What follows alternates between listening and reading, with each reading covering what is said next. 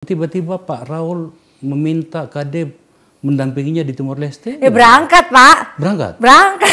Semua dikirimin koper ntar diusir dari rumah. Terus Engkau ku hargai.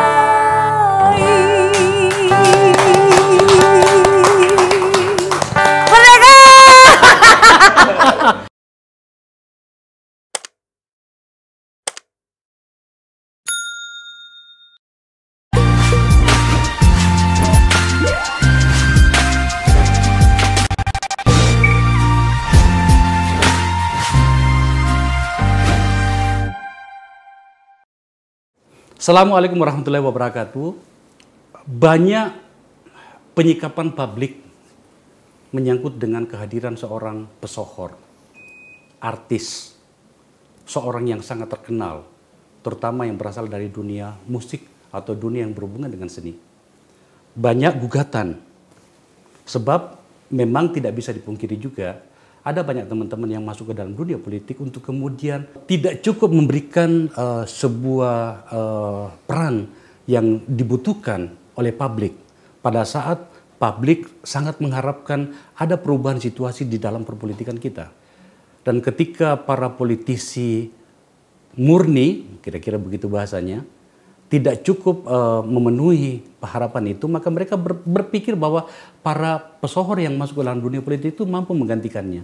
Dalam banyak kasus, sekali lagi, itu kemudian tidak terpenuhi.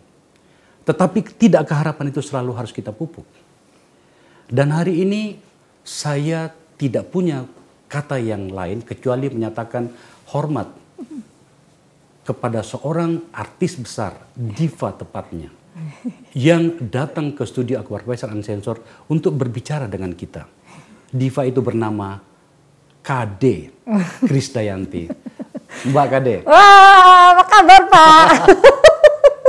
terima kasih ya. Sama-sama. Ini kita berjarak banget. Ya berjarak ya, supaya menjaga. Jadi Akbar Faisal unsensor. Jadi bener-bener eh, prokes ya. prokes, prokes, prokes. Aduh, Ya. seneng Pak. Saya yang terhormat lah. Terima kasih banyak. Pak Akbar Faisal adalah senior eh, di parlemen. Ya, tadi sempat-sempat eh, curi-curi waktu untuk gabung lagi dong Pak di Senayan. Iya. Kita perlu orang-orang seperti Bapak ya. Ya, makasih. Em, Saman selalu bergerak. Hari ini Ya. parlemen ada di tangan Mbak Yanti alias KD. Ya. Dan em, seperti yang saya katakan tadi, saya memilih untuk em, mengambil posisi berjalan bersama proses yang harus kita lalui bersama. Ya. Proses itu adalah seorang Krisdayanti yang seorang diva, tapi kemudian mengambil peran sebagai politisi. Jangan menghabiskan waktu untuk eh, saling mencari di mana ruang untuk kemudian kita menjelekkan atau Ya. dan seterusnya gitu ya. Asumsi. Iya, tidak ada tidak ada gunanya gitu kan. So, Mbak Yanti, pertanyaan pertama saya itu begini. Anda tidak menyesal masuk ke ruang politik ini? Terima kasih pertanyaannya, wah ini luar biasa. Jadi setiap pekerjaan saya yakin ada tantangan. Oke. Dan buat saya untuk mendapatkan label, alhamdulillah sampai sekarang orang bisa ber, ber- eh, menyampaikan di pundak saya, saya diva, artinya tanggung jawab moral saya sebagai penyanyi setelah begitu banyak tempaan. Sempat saya juga berpikir bahwa mungkin di antara 560 anggota DPR RI saya satu-satunya mungkin yang nggak punya eh, label akademis. Sempat juga terpikir dari dalam diri saya, sempat hati saya juga eh, bahwa kalau kita kurang cerdas bisa diperbaiki dengan pengalaman. Artinya saya juga menganggap bahwa di dunia politik ini juga sama. Artinya saya ditempa dengan panggung dan industri yang begitu besar Dan keras. deraannya dan Iya. keras gitu. Jadi saya pikir sama, mungkin capaian yang dicapai oleh sahabat-sahabat saya di parlemen sama dengan pencapaian saya di panggung dan di industri musik. Jadi jangan pernah merasa bahwa politik adalah wilayah pengabdian saya yang baru. Jadi saya pikir atas izin Tuhan dan semesta menggerakkan saya untuk bisa terjun langsung di politik dengan kebaikan Gusti Allah saya diberikan kendaraan politik yang begitu baik Partai PDI Perjuangan yang menempatkan saya di dapil yang pas banget di kota kelahiran saya di Batu Malang yang selama ini belum punya keterwakilan perempuan selama ini. Jadi saya di didorong dan disupport sekali oleh eh, suami saya. Artinya kita memang 10 tahun bersama-sama uh, memang orientasi politiknya sama-sama seneng bicara tentang politik karena dunia politik di Timor Leste juga uh, banyak yang dia ceritakan ke saya. Artinya sama semua pekerjaan pasti ada resiko ada tantangan. Jadi ya udah kalau nyebur sekalian nggak ada setengah kaki nyebur semuanya gitu. Bahwa saya nanti akan di bullying atau di uh, diasumsi yang nggak baik saya pikir saya harus masuk ke ruang-ruang uh, seperti undangan bapak seperti ini karena buat saya dengan komunikasi tidak akan terjadi asumsi dan prasangka. Makanya saya bilang ya udah kesempatan di mana aja saya diminta jadi narasumber baik itu politik dan lain-lain saya akan isi karena yang namanya diskusi itu kan pendapat saya, walaupun itu tidak harus benar, tapi ya ada sebuah kontribusi di situ. Jadi ya seneng deh, gitulah lumayan kan saya. Narasinya luar biasa. Apa sih gitu Pak kan. ketawain dong, aduh. Ya. Pokoknya seneng, seneng, seneng. Saya sejak dari awal tadi mengatakan saya memberikan apresiasi karena eh, tidak tidak cukup eh, banyak teman-teman Anda. Anda itu maksud saya itu teman-teman di parlemen. Iya, semua orang Yang- tahu kalau di sini tuh macan.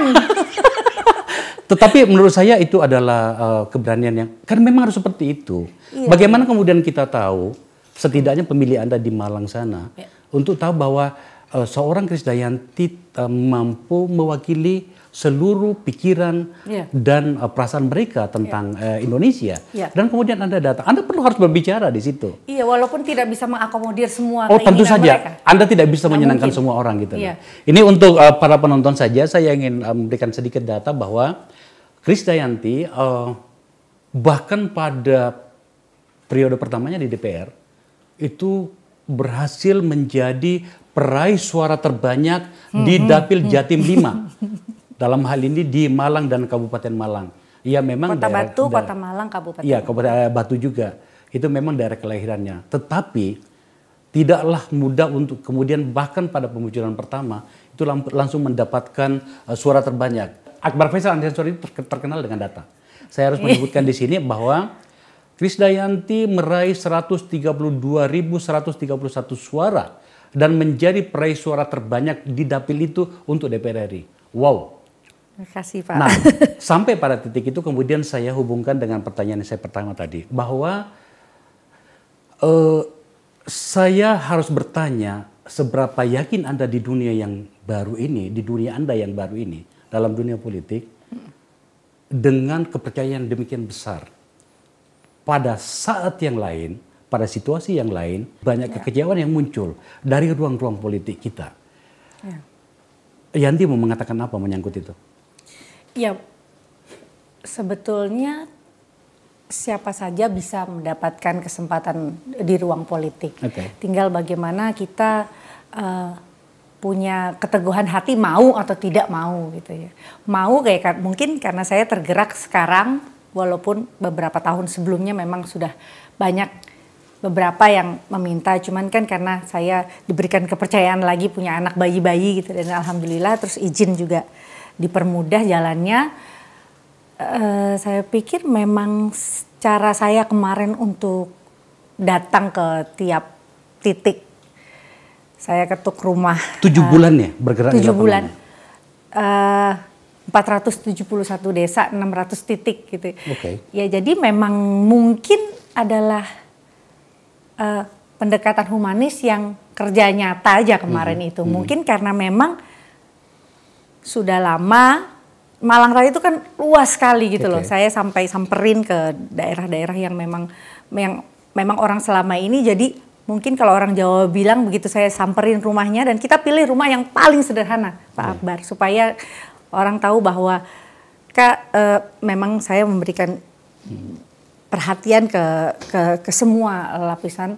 Dan mereka tuh kalau bahasa Jawanya tuh ketenggengan gitu, setengah-setengah nggak percaya gitu loh. Bahwa ya alhamdulillah saya udah dikenal sama masyarakat di situ, saya modalnya murah meriah aja. Habis beli beli speaker kecil, toa. Saya nyanyi itu satu kampung, satu desa udah udah bisa kumpul. Artinya kan mereka Ya siapa yang nggak mau datang kalau gak ada yang nyanyi kan. Jadi saya nyanyi dia selain eh, bahasanya kotel efek kayak yeah. waktu itu kan. ya jadi effect, ya. ada ada Presiden Jokowi, ada iya. partai yeah. dan juga ada caleg di sini. Jadi memang ibaratnya saya ini uh, benar-benar efek dari dari dari caleg dan capres kemarin itu hmm, hmm, hmm. ter ya, terimpact sekali ke saya. Gitu, ya. Dampaknya tuh itu. Habis Jadi, berapa Kade? Boleh dong buka-bukaan sini dong. oh itu aksesoris. Berapa ya Pak? Hmm, tiga, tiga miliar. Tiga miliar ya, ya. Sekitar itu. Kok Titi? Titi ya? Oh iya. Ya karena murah modal saya. Nyanyi gratisan pakai bayar iya, gitu iya. kan. Iya, kadang kalau teman-teman lain juga pada nggak setuju tuh. Kok cuman segitu ya kan? Ya secara logistik juga partai bantu gitu partai ya. Bantu, cuman, ya. cuman kan uh, memang yang ditangkap oleh warga adalah kesungguhan saya untuk hadir, kesungguhan saya untuk ya udah menyampaikan bahwa kita bisa bersama-sama kok. Yuk kita bangun uh, dengan bersama-sama kita memiliki persatuan dan kesatuan untuk menguatkan pemberdayaan perempuan kita bisa bikin Indonesia hmm. jadi hebat kayak gitu-gitu. Ini masih pembuka loh Kade, kita belum masuk pada intinya loh. Iya, saya apa namanya ini ini soal apa pilihan ya. Sebenarnya ini tiba-tiba Anda mau masuk ke dalam dunia politik itu apa alasannya? Tidakkah kemudian selama Anda menjadi diva itu sudah lebih dari cukup? Ya, ya kan? Dan kemudian Anda tahu kan bagaimana perpolitikan kita. Itu bisa menjadi sangat ganas. Mm. Anda tidak mempertimbangkan itu? Jadi memang kemarin itu simple sih. Ketika uh, Pak Sekjen menghubungi ya Sekjen PDP maksudnya. Ya. Oke. Okay. Pak Hasto menghubungi terus saya tahu bahwa uh, Partai PDI Perjuangan memiliki sejarah panjang lah okay. dalam uh, uh, narasi kebangsaan dan juga uh, uh, Pancasila menjadi satu ideologi yang memang uh, final gitu untuk untuk seluruh rakyat Indonesia kita bangga bahwa Indonesia itu memiliki satu ideologi Pancasila yang buat saya tuh nggak semua negara punya keutuhan semacam semacam di Indonesia persatuan dan kesatuan. Jadi saya pikir ini kesempatan yang baik dimudahkan jalannya lalu kepercayaannya juga begitu besar. Kemarin itu saya nothing tulus, nggak ada Pokoknya gak lolos gak ada, ya lolos. Gak ada ekspektasi yang yeah. macam-macam gitu. Jadi orang bisa wah target suaranya bisa ratusan ribu ah, masa sih gitu hmm, saya tuh hmm. bukannya jadi asumsi jadi uh, nggak nggak pede gitu cuman karena mungkin saya jalannya tuh seneng dan saya disambut begitu baik pulang dibawain. Biasanya kan pulang dibayar kan pak ya? Hmm. ini dibawain kentang satu oh iya oh, satu truk kayak gitu gitu ya. Oh jadi, jadi yang tidak datang kampanye kemudian eh, orang malah kasih? Orang kasih gitu wow. bawa, bawa kasih kentang. Bapak tahu nggak eh, di pujon di pujon di batu atas itu? Ya, tahu saya itu, itu. kalau lagi panen kentang itu buat produk kentang yang terkenal di Amerika loh. Okay. jadi memang banyak produksi produksi produksi uh, di Malang Raya ini yang keren keren sekali gitu loh jadi saya juga bangga sebagai aktualisasi representasi dari masyarakat di dapil saya di Malang Raya ini keren banget gitu. Keren. Karena biasanya kan kalau anggota DPR yang lain ya yang tidak punya nama kalau datang itu kan pada beberapa tempat, pada beberapa kelompok masyarakat itu bayar. Iya. Eh, iki kok awakmu kok di anu ya? Di, ya, ya, ya pasti kan kita pasti berilah untuk konsumsi dan ya, lain-lain. Ya, ya, Tapi ya tapi pulangnya? Pulangnya tuh saya wah segala macam karena buat dengan mereka menitipkan barangnya ke saya berharap dia di endorse kan. Wah yeah. ini iya. keripiknya enak, oh, susunya gitu enak. ya. Oke. Okay. Nah, um, kenapa sampai saya harus bertanya berulang-ulang tadi soal yeah. keyakinan masuk ke yeah, politik yeah, itu? Yeah, Karena begini, uh, di ruang publik, di memori banyak orang, termasuk mungkin di saya, dunia seorang kade dengan uh, eh, PDIP pada berbagai jargon dan apa yang diperjuangkan oleh PDP seperti apa yang saya kenal itu jauh sekali orang tahu siapa seorang Diva KD Ya. yang katanya adalah dunia gemerlap. Ya. Tetapi yang diperjuangkan oleh PDP adalah wong cili. Ya. Nah, Memang. pertanyaannya begini, Kade. Bagaimana Anda membawa dirimu untuk masuk pada sebuah situasi untuk kemudian, oh ternyata partaiku hari ini adalah partai yang berbicara tentang dunia yang mungkin sudah lama saya tidak tidak rambah gitu. Ya. Saya memang selalu berulang kali bilang bahwa kemarin juga seperti ada acara uh, tourism award yang diprakarsai oleh uh, PDI Perjuangan. Saya datang ke kantor DPP kembali setelah terakhir saya dinyatakan lolos jadi anggota legislatif. Jadi saya nyuwun sewu lewat virtual nyuwun sewu kepada Ibu Ketum. Saya belum sempat sowan lagi ke kantor DPP semenjak saya bertugas karena memang kita masuk ke generasi pandemi Okay. dan memang PPKM dan lain-lain. Pokoknya semua hybrid by virtual gitu. Yeah. Saya selalu bilang kayak diundang di DPP mana pun terakhir di Yogyakarta di Jogja juga saya bilang saya selalu merasa diberikan ruang di Partai PDI Perjuangan karena salah satu Trisakti Bung Karno berkepribadian dalam kebudayaan. Karena itulah saya merasa bahwa ruang saya sebagai seniman di PDIP ini jejak gitu.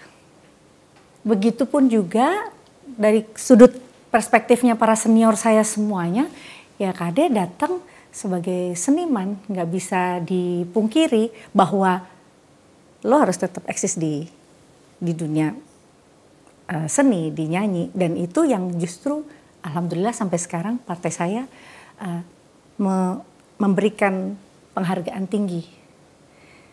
Jadi Maksudnya masih boleh nyanyi. saya tetap diizinkan menyanyi dan buat saya saya tahu di itulah makanya kalau kita di di seni itu kan ada standarnya orang akan melihat yang terakhir kita lakukan. Ya terakhir kamu kalau orang ter- lihat terakhir yang kamu lakukan selalu ber- berkaryalah yang terbaik. Tapi Kade tahu kan bahwa ada sebuah aturan yang ya. eh, menyangkut soal itu ya. Saya bacakan. aduh Peraturan Dewan dibacain Perwakilan sih? Rakyat nomor 1 tahun 2015 tentang kode etik Dewan Perwakilan Rakyat. oke. Bagian ke-11, pekerjaan lain di luar tugas kedewanan, pasal 12, anggota wajib mendahulukan fungsi, tugas dan wewenangnya sebagai anggota. Sebenarnya tidak dilarang, tetapi selama kemudian tugas-tugasnya apa namanya kita itu itu terpenuhi. Ya, mendahulukan dan memprioritaskan itu jelas ya. Saya tidak menutupi, saya lewat rapat pleno kemarin terakhir eh, di awal Juli 2021 saya ditegur sama Mahkamah Dewan MKD Oh, oke. Eh, karena saya menyalahi aturan saya tampil di satu acara live yang mana penontonnya juga tahu itu jam 12 siang waktu kerja kita. Oke, oke. Jadi saya di- ditegur secara langsung. Artinya tidak ada mungkin tidak mungkin orang bisa sukses tanpa melalui proses buat saya ya. Jadi itu akan jadi satu pengalaman buat saya juga gitu. Jadi Mbak Kade jangan kebanyakan di TV live. Oh, saya salah. Saya langsung telepon ketua fraksi, saya mohon maaf supaya hal-hal itu tidak terulang karena waktu itu saya memang lagi promosi untuk single saya terbaru. Jadi diundanglah sama si Ivan Gunawan. Eh, lu si Ivan ngundang gue jam 12 siang. Tapi eh, proses pembelajaran yang bagus kan? Ya itu Pak. Jadi maksudnya artinya saya nggak boleh nggak boleh kecil hati Iya. bahwa masyarakat me- mengingatkan saya supaya untuk lebih hati-hati. Iya. Itu pun juga yang terjadi terhadap manajemen saya menyanyi. Saya tidak merekrut satupun manajemen saya di bidang keartisan, di bidang kedewanan, supaya mereka bisa juga mem- apa.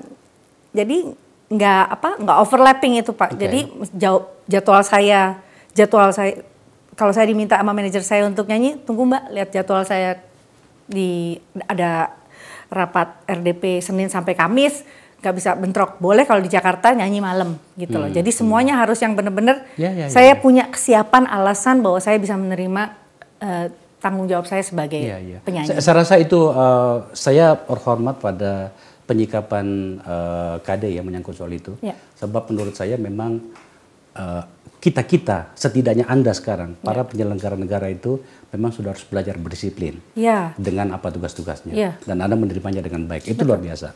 Saya uh, punya catatan kami punya catatan di sini uh, KD kinerja uh, KD itu sebagai pendatang baru lumayan loh ini KD ya.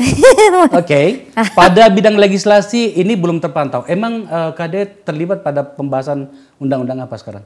Ya, kalau sekarang kita sedang terakhir eh, dua eh, Poksi sembil, Komisi 9 dan Komisi 10 sedang membahas di eh, forum discussion group gitu untuk membahas undang-undang pendidikan kedokteran. Tapi belum masuk ya? Belum masuk. Oke. Nah, gitu. Uh, Jadi eh, artinya belum dibahas di prolegnas ya? belum. Oke. Dan beberapa panja seperti panja POM dan panja Alkes yang dan juga ada eh, pengawasan untuk tenaga kerja asing Mm-hmm. seperti itu yang memang menjadi satu satu tugas saya.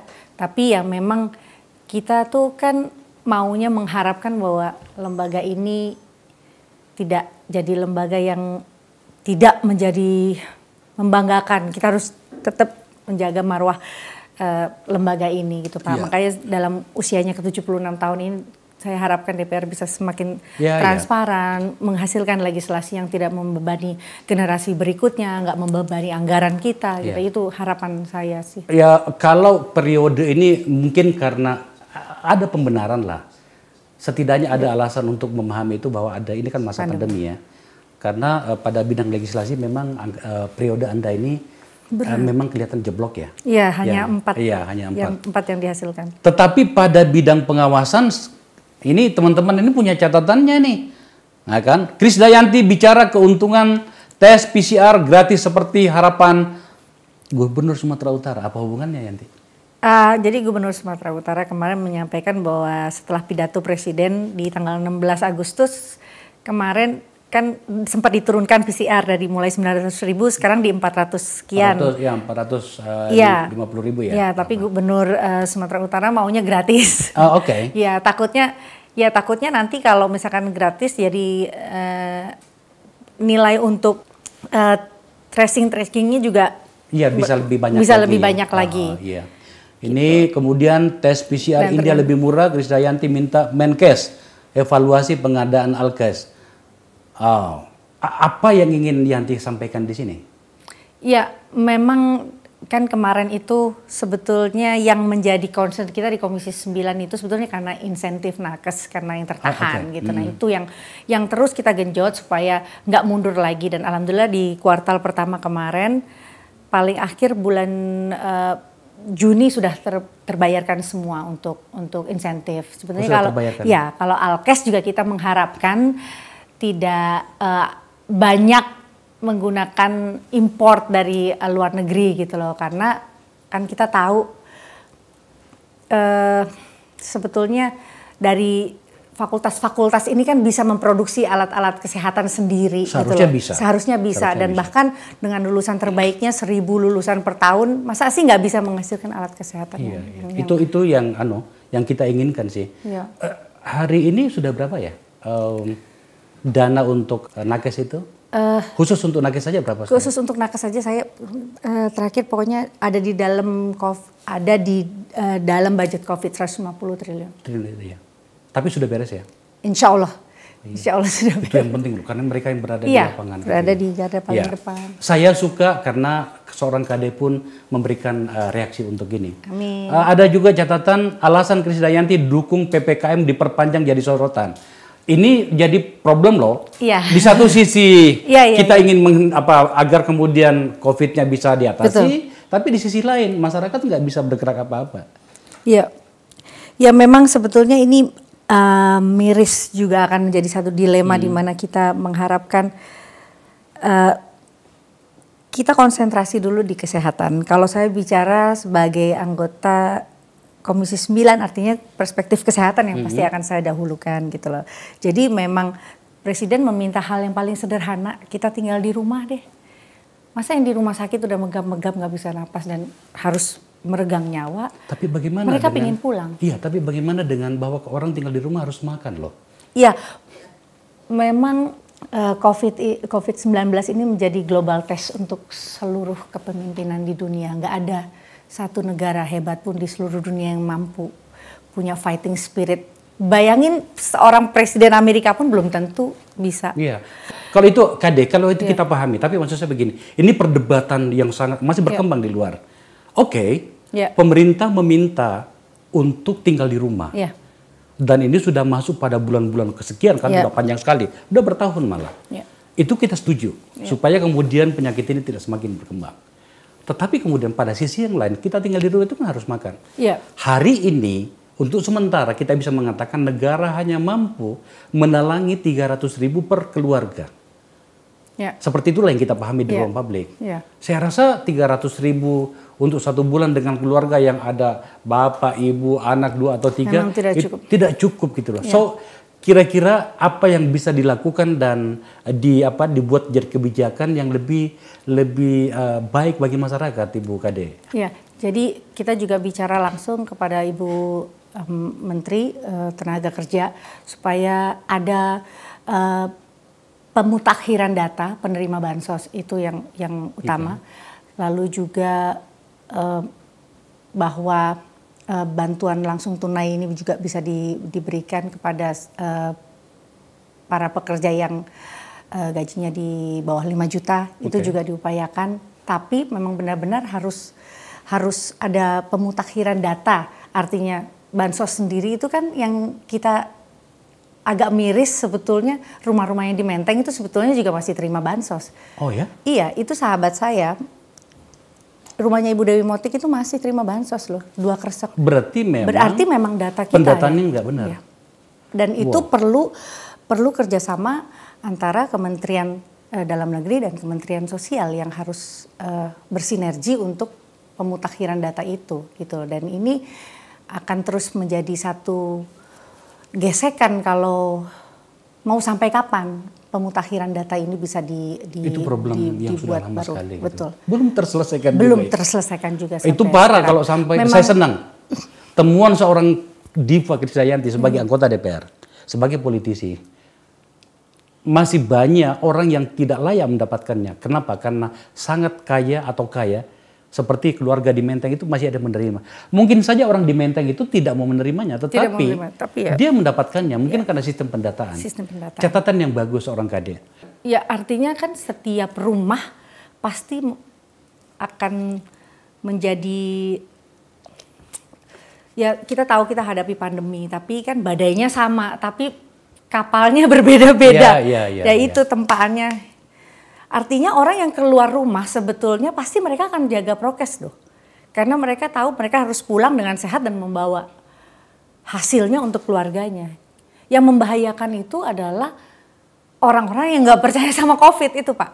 Apa sih kamu menyangkut itu? Ya terjadi kan yang kemarin saudara-saudara kita di Madura itu yang memang menolak divaksin, yang memang tidak percaya dengan COVID. Tapi kan kejadiannya ya akhirnya banyak yang harus meregang nyawa juga di situ gitu. Ada masih banyak loh orang termasuk yang intelektual barangkali, ya. berpendidikan, itu ya. masih banyak yang menolak COVID loh.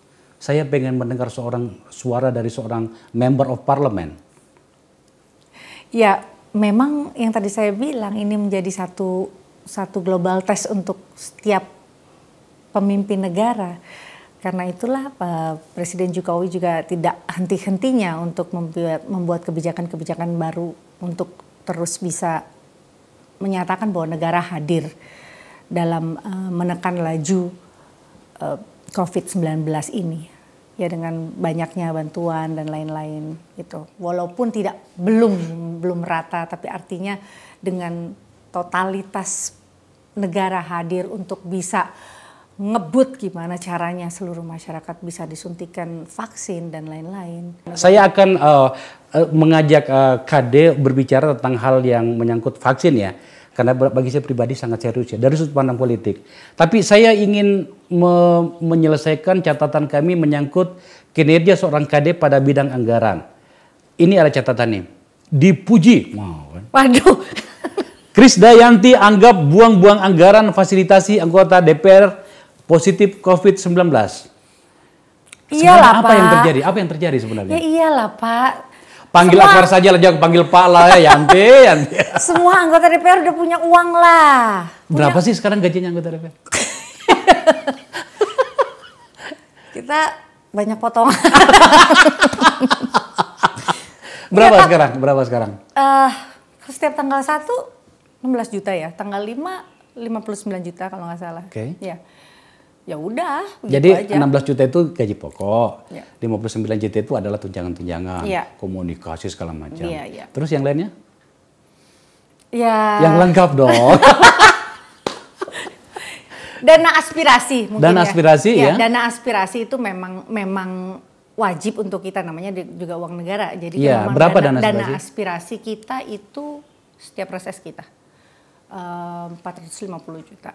Ber- Itu berapa kali dalam setahun? eh, lima kali dalam setahun kita eh, juga harus menyerap aspirasi artinya di setiap 20 titik setiap kehadiran Iya, kita iya, aturannya gitu ya. aturan-aturan itu dan mohon maaf ya para senior-senior saya nih kalau, kalau saya salah tapi artinya saya upayakan semaksimal mungkin saya eh, akan tergetar hati saya kalau saya nggak menyampaikan tugas-tugas saya untuk Iya. eh, nilai-nilai kemasyarakatan Dana aspirasi tadi 450 juta lima kali dalam satu tahun. Mhm. Yang dana yang berikutnya apa lagi tadi?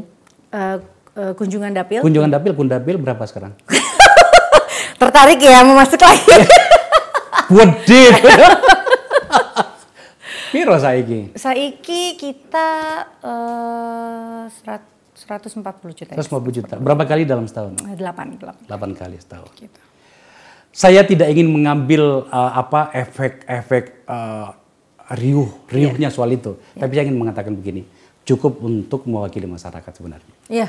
Anggaran itu sangat besar. Ya apalagi Pak udah sangat simpel kita Ya. tuh nggak udah deh yang namanya sembako dan lain-lain lah itu udah Betul. udah memang udah udah ibaratnya kita harus kucurkan seperti air Iya, saya rasa iya. karena ka- bentuk kehadiran kita sebagai anggota tuh memang dibutuhkan Iya. ya setiap saat sebetulnya bukan saat-saat kita seperti ini setiap saat orang anggarannya ada ya Iya. kehadiran kita harus ada di Iya, masyarakat iya.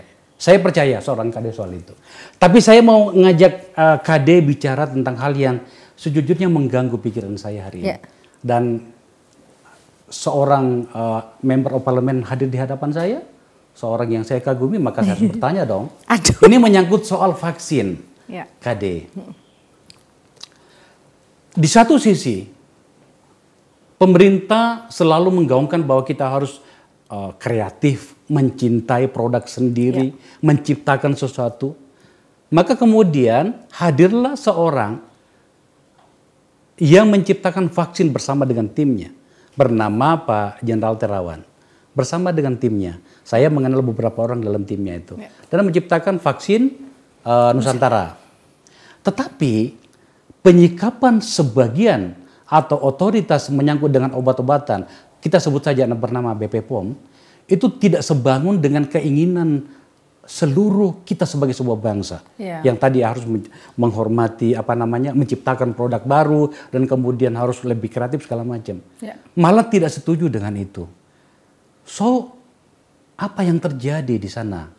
Iya, eh, memang BPOM sendiri sudah menyampaikan kepada Presiden juga lewat rapat dengar eh, rapat dengar pendapat dengan kita kemarin bahwa beberapa eh, produk vaksin sedang diupayakan setelah melalui good manufacturing practice, jadi pembuatan obat baik lah ibaratnya itu. Salah satunya memang em, adalah vaksin merah putih Oke. dan ada vaksin BUMN juga Oke. salah satunya.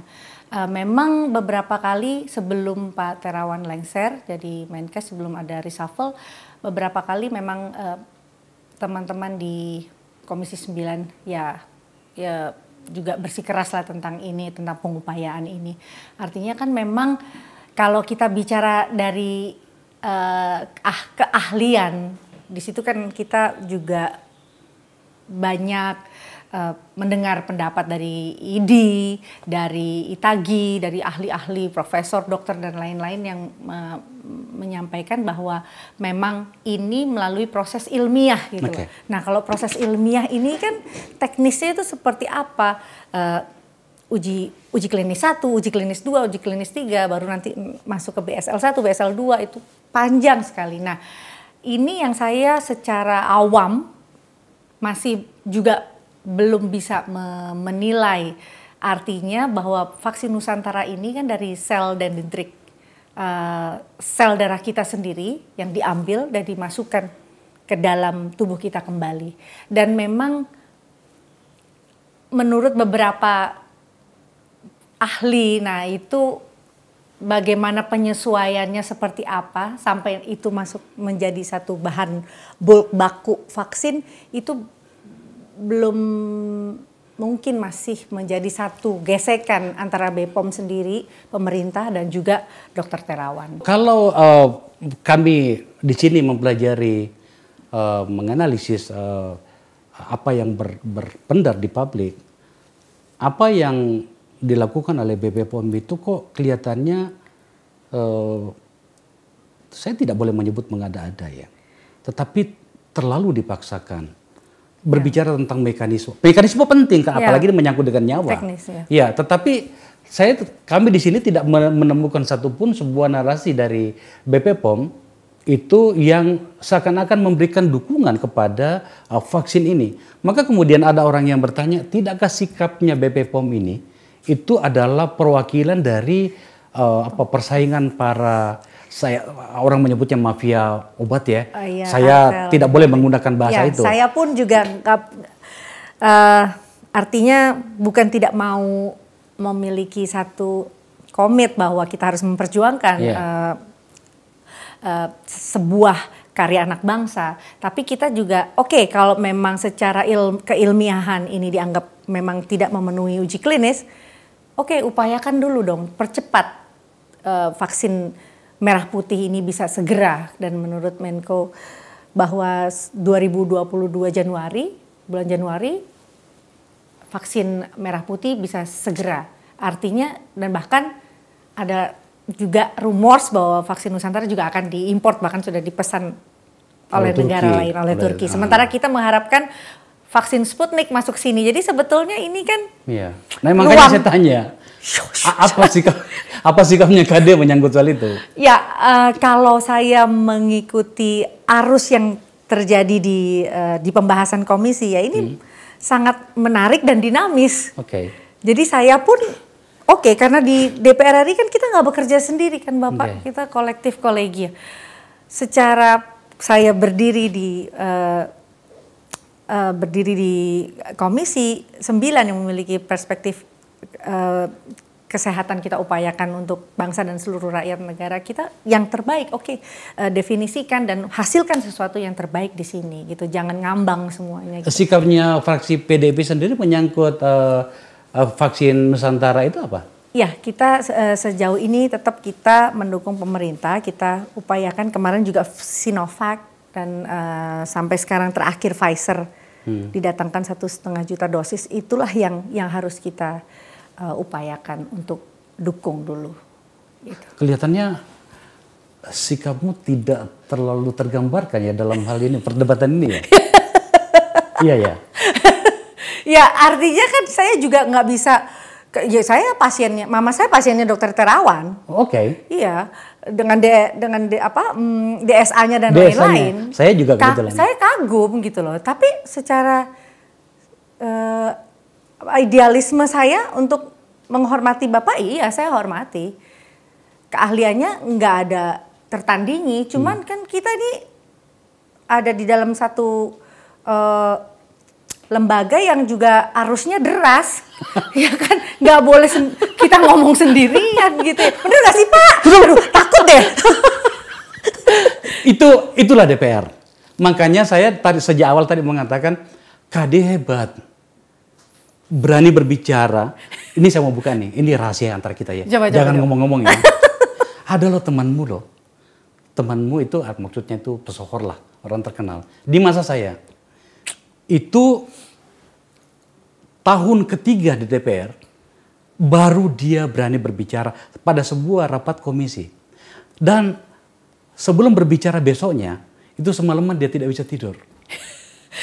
Kalau saya kan anggap bahwa tempat ini ruang saya untuk banyak belajar. Nah itu aja sih. Itu dia yang saya maksud gitu loh kan. Makanya top. Jangan khawatir. Respect kami dari Akbar Faisal Unsensor dan Negara Institute itu. Nyanyi dulu, nyanyi dulu, nyanyi Tar, dulu. tar, tar, Siapa tar. yang main Belum gitar? selesai kita, belum selesai. Nah, Kade, pada akhirnya saya harus bertanya gini. Apa yang paling mengganggu pikiranmu selama menjadi politisi, khususnya di DPR? Mungkin bicara tentang kekecewaan. Ya. Ya.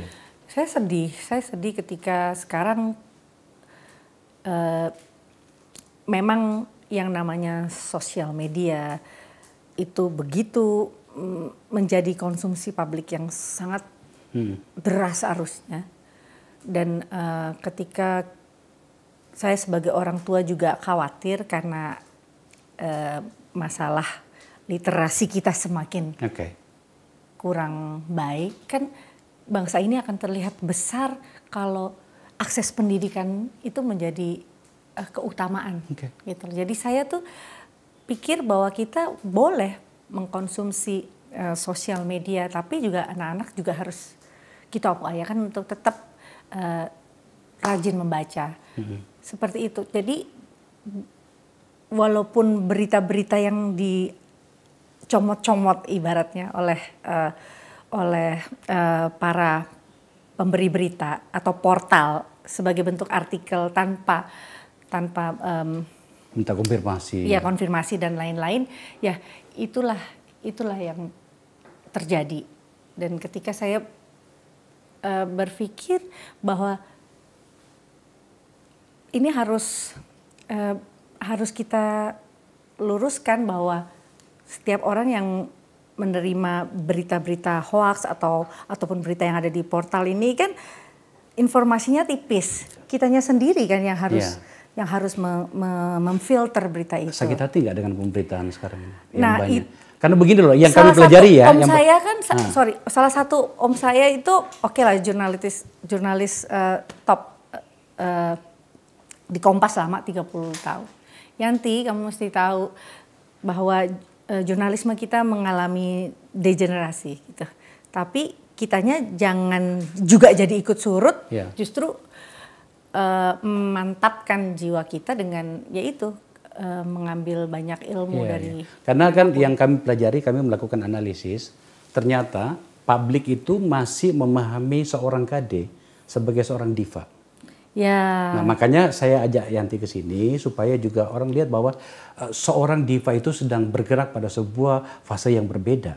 Ya, semoga ditangkap itu tujuan kami mengundang di sini selain ingin mem- memahami pikiran-pikiran seorang KD. Tetapi yang kita lihat di sini orang-orang masih mel- melihat eh, seorang KD itu sebagai seorang diva. Iya, Mereka belum bisa menerima KD sebagai seorang politisi. Iya, itu mengecewakan nggak sih itu? Ya text time sih memang Pak, cuman karena contoh soal saya selalu menampilkan kegiatan-kegiatan kedewanan saya di dalam sosial media saya. Oke lah, eh, followernya misalkan 5,8 juta. Pasti adalah 20 persennya yang juga sudah mulai ikut tergiring. Oke. Oh, Oke. kegiatan KD behind the scene seperti ini ya kalau di di DPR. Eh, selain itu apa em, eh, kegiatan selain kegiatan-kegiatannya apa aja isu-isu yang sedang di eh, dibincangkan di situ di balik layarnya lagi saya sering juga menggandeng beberapa desainer-desainer muda kita untuk eh, banyak kain-kain Nusantara yang baik yang saya bisa eh, tampilkan. Jadi saya selalu rapi datang ke kantor, misalkan karena buat saya kalau kita menebarkan juga semangat kebaikan itu kan nggak hanya buat kita, Oh iya, iya, tentu buat, saja. buat sahabat-sahabat yang lain. Iya, Artinya teman-teman di DPR yang lain juga seneng kalau kita lihat dandannya juga rapi gitu. Hmm. Jadi kalau misalkan ada ditanya, hmm, kalau rapi banget sih kalau mau ke kantor, Hmm. iya, ya itu yang yang you are what you think kalau Iya. kita berpikir kita bisa rapih dan itu bisa bermanfaat untuk Iya, apalagi seorang Orang diva lain. tidak boleh berubah terlalu drastis ya. Tetap harus seorang diva gitu ya. tapi nggak terlalu bling bling lah pak. Pertanyaan terakhir. ya jangan dong. Eh, gaji di DPR banyak. Miliaran kan dalam satu tahun bisa terima sekitar dua lebih sekian lah.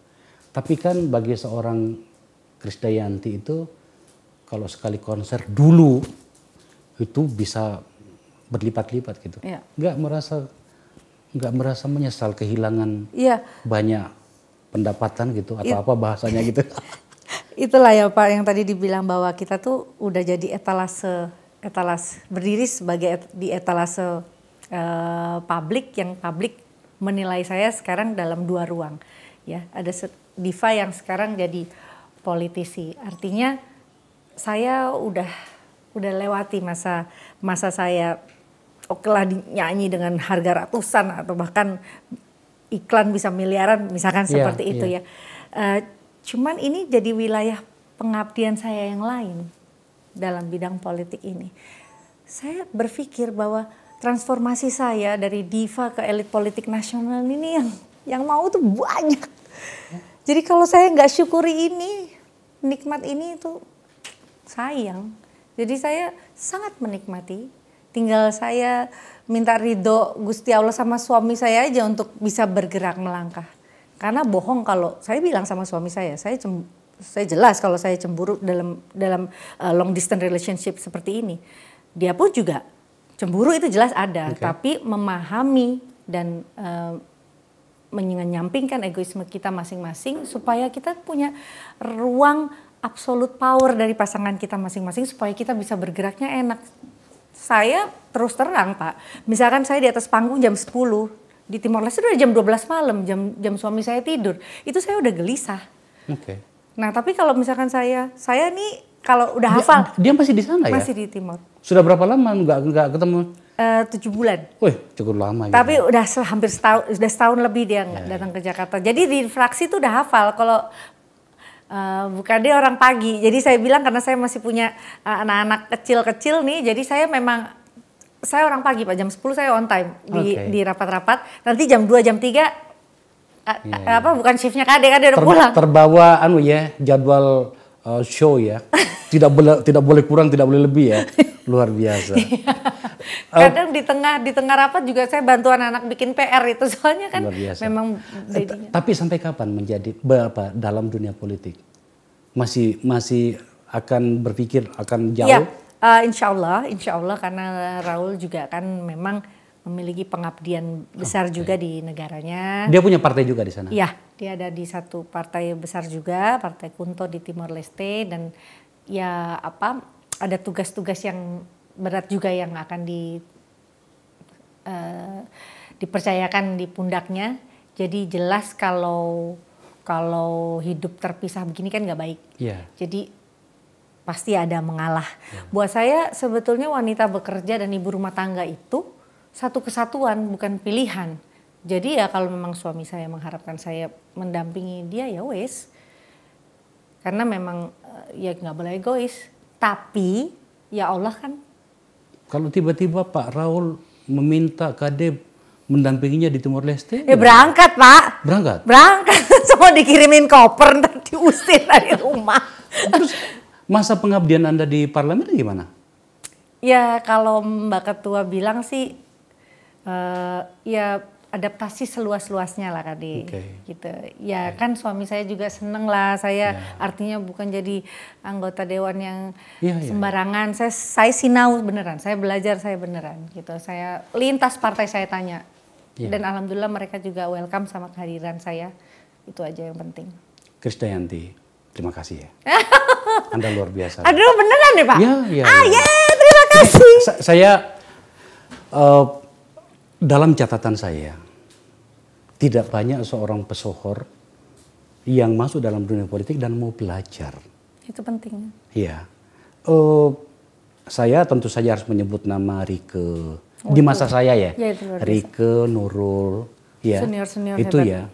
Dan kemudian kalau kita bawa dalam dalam konteks yang lebih besar, politisi perempuan kita itu memang butuh apa ya butuh melakukan lebih besar lagi. Benar, ruang partisipasinya sebetulnya ruang partisipasinya sudah besar. Yeah. Seperti kita masih 20% Pak, ternyata dan kita harapkan bisa 30% tidak saja mengisi kuota, yeah. tapi perempuan-perempuan ini juga punya strategi supaya bisa. Ada banyak politisi perempuan yang bisa uh, apa namanya KD uh, eh, diskusi barangkali dengan beliau masih ada beberapa orang yang yang masih hidup yeah, ya. Semua orang tahu, terutama di masa-masa uh, kami sebelumnya itu Aisyah Amini. Oh ya. Fatimah Ahmad. Marwadot Ibrahim. sekarang di masa-masa yang sekarang ada Eva Kusuma Sundari. Iya, itu senior saya. Banyak, banyak, banyak. Dan saya berharap eh, apa namanya eh, KD bersama dengan teman-teman para pesohor yang memilih untuk masuk dalam dunia politik itu itu bisa apa bergerak eh, lebih cepat dan kemudian juga bersama dengan teman-teman yang lain. Amin. Negara ini harus kita kelola bersama. Ya, Tidak peduli apa latar belakang Anda.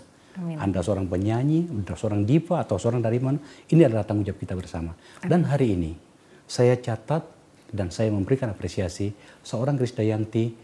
Saya tidak mau menggunakan kata berani, tapi bersedia datang di Akbar Faisal Alam Sensor itu sudah luar biasa. Tepuk tangan, tepuk tangan semuanya tepuk tangan. Nah, pemirsa, Anda sudah mendengarkannya. Silakan simpulkan sendiri. Saya sudah mengunci tadi dengan mengatakan, ini negeri kita, ini bangsa kita, ini tanggung jawab kita bersama. Siapa pun Anda. Ada banyak catatan pada setiap orang. Tetapi catatan itu tergantung kita mau bawa ke mana. Hari ini Krisdayanti menunjukkan kepada kita semua bahwa dia ingin berbuat bagi negaranya. Amin. Dia ingin berbuat bagi dirinya. Dan itu sudah luar biasa. Sebelum kita tutup acara ini, ada baiknya sang diva ini kita dengarkan suaranya. Lama sekali kita tidak mendengarkan suaranya. Dan ini tidak melanggar karena akan ditayangkan beberapa hari yang akan datang gitu kan. Silakan. Musik sini. Kita lagu apa ya? Tanah air. Wow, boleh? Tanah air ku tidak ku kan terkenang selama hidupku. Biarpun saya pergi jauh.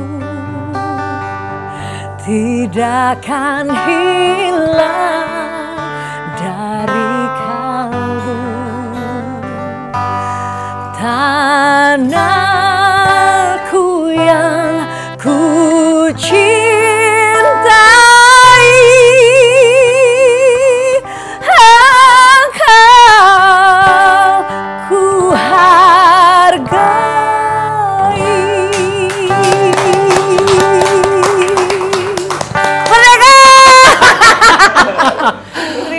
Pemirsa dengarkan lagu Sang Diva. Tak pernah berubah. Selalu mencengangkan. Sampai bertemu di acara berikutnya. Bila itu wal hidayah. Assalamualaikum warahmatullahi wabarakatuh.